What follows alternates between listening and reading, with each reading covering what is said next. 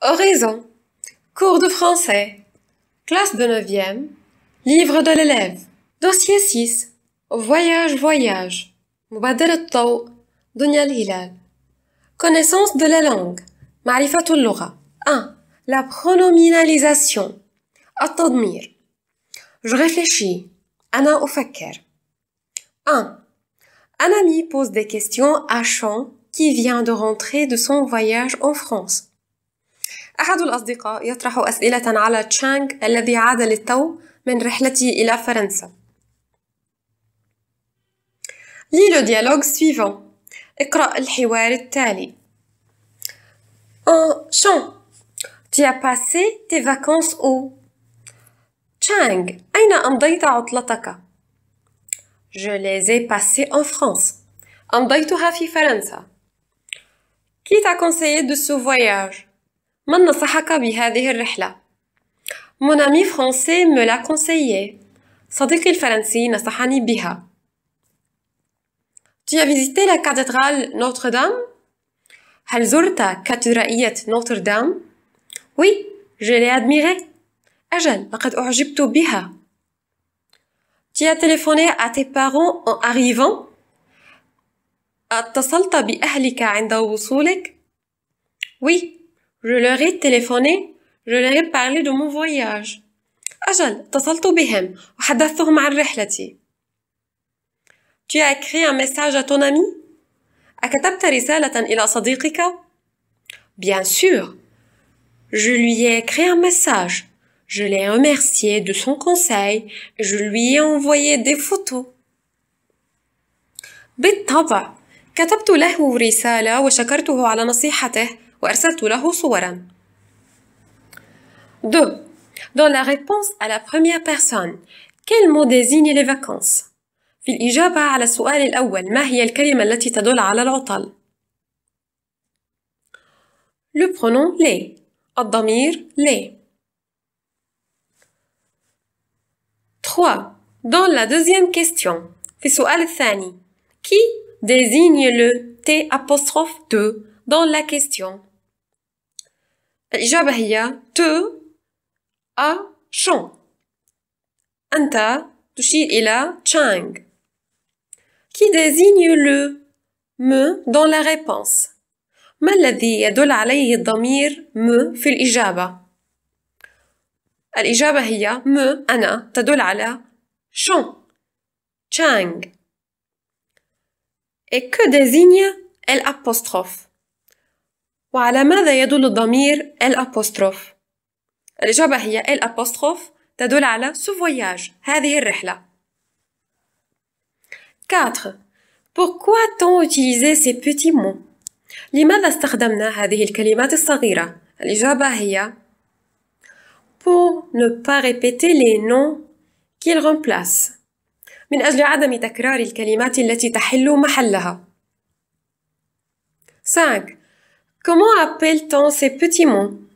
ماذا نسمي هذه الكلمات الصغيرة؟ الإجابة هي On appelle ces petits mots des pronoms. نسمي هذه الكلمات الصغيرة ضمائر. 6. Quelle est la différence entre les pronoms dans les deux phrases suivantes ما هو الفرق بين الضمائر التي في الجملتين التاليتين؟ A. Tu as aimé la cathédrale Notre-Dame أحببت كاتدرائية نوتردام؟ Oui, je l'ai admirée. أجل أنا أعجبت بها. B. Tu as écrit un message à ton ami français؟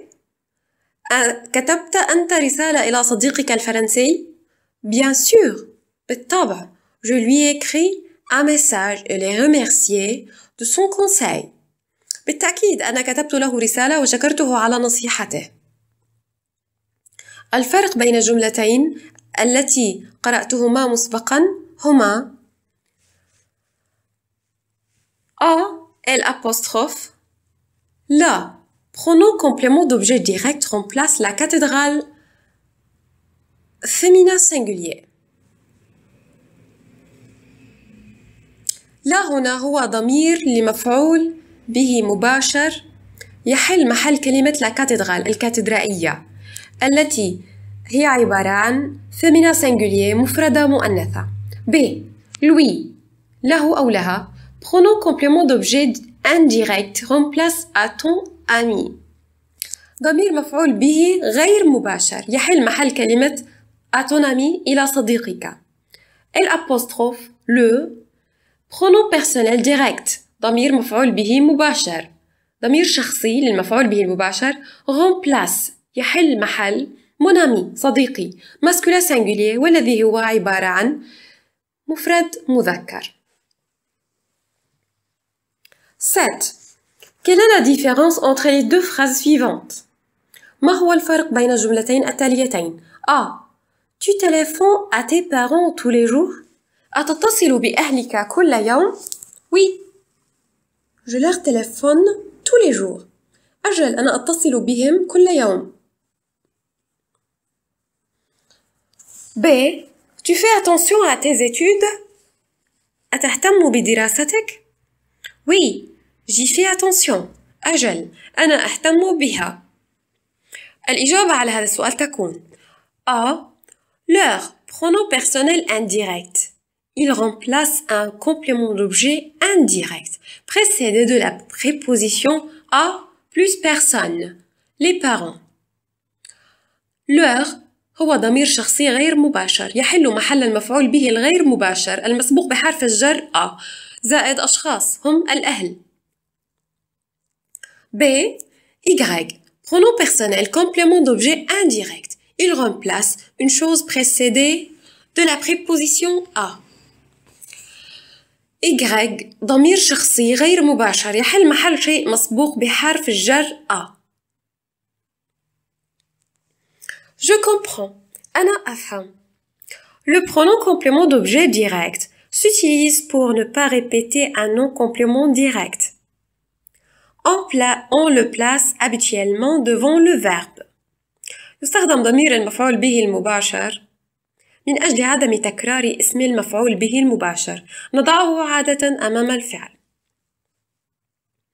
Les pronoms compléments d'objet direct remplacent un nom de chose ou de personne. Il répond à la question qui ou quoi. ضمائر المفعول به المباشر تحل محل اسم شيء أو اسم شخص هي تجاوب عادة على السؤال من أو ماذا Les pronoms compléments d'objet direct sont me, te, le, la, nous, vous, les. Le, la deviennent l'apostrophe devant une voyelle ou un H muet. Exemple, elle l'aime. ضمائر المفعول به المباشر هي me, te, le, la, nous, vous, les. le ولا تصبحان الأبوستروف أمام الحرف الصوتي أو الأش الصامتة. مثال elle هي تحبه. Les pronoms personnels, compléments d'objet indirect précédés de la préposition à, répondent à la question à qui. Ils remplacent une personne. الضمائر الشخصية للمفعول به الغير مباشر المسبوقة بحرف الجر أ تجيب على سؤال لمن هي تحل محل شخص On utilise le pronom personnel indirect avec un verbe qui se construit avec la préposition à. نستخدم الضمير الشخصي الغير مباشر مع الفعل الذي يتشكل مع حرف الجر أ. Exemple مثال.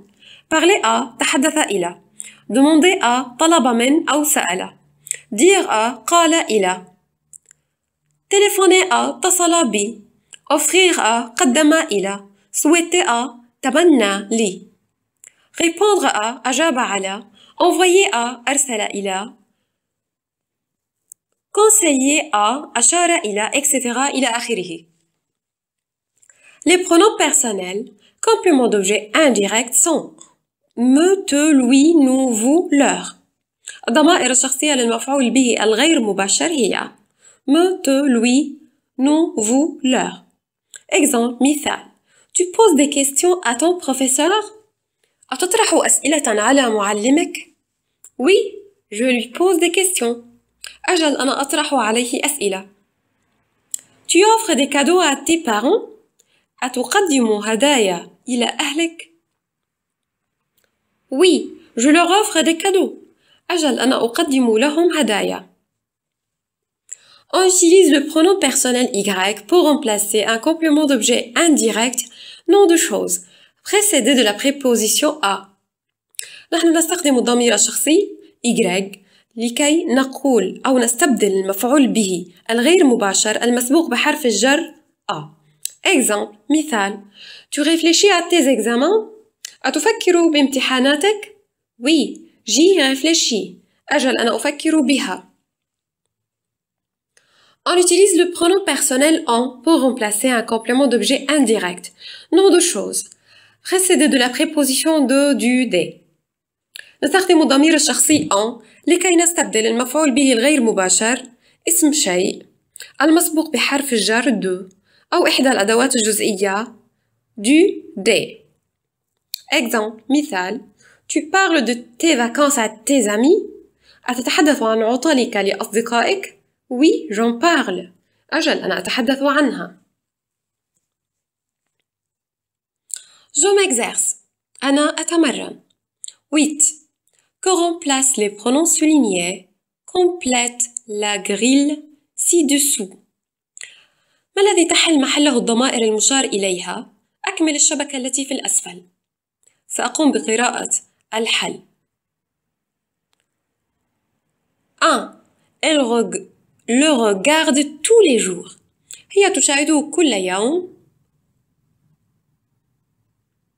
C le journal télévisé نشرة الأخبار المتلفزة 2 je l'ai fait tous les jours أنا أقوم بذلك كل يوم D les devoirs الواجبات المدرسية أو الوظائف 3 je m'y intéresse أنا أهتم به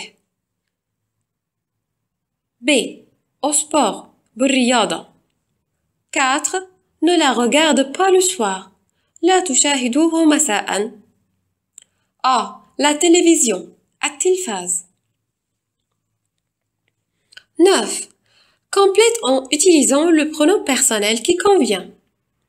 أكمل مستخدما الضمير الشخصي المناسب. سأقوم بالقراءة مع الحل. A.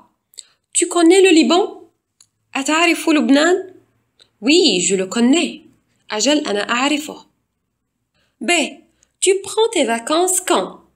متى تأخذ عطلتك؟ Je les prends en août. أنا أخذها في آب. C. Tu téléphones à tes parents pendant les vacances? أتتصل بأهلك خلال عطلتك؟ Oui, je leur téléphone. أجل أنا أتصل بهم. D. Tu me montres une photo أتريني صورة Bien sûr, je te la je te la montre. Avec plaisir. أجل بالتأكيد أنا أظهرها أريها لك بكل سرور. أه tu penses toujours à tes problèmes أتفكر دائما بمشاكلك؟ Oui, j'y pense toujours. أجل أنا أفكر بها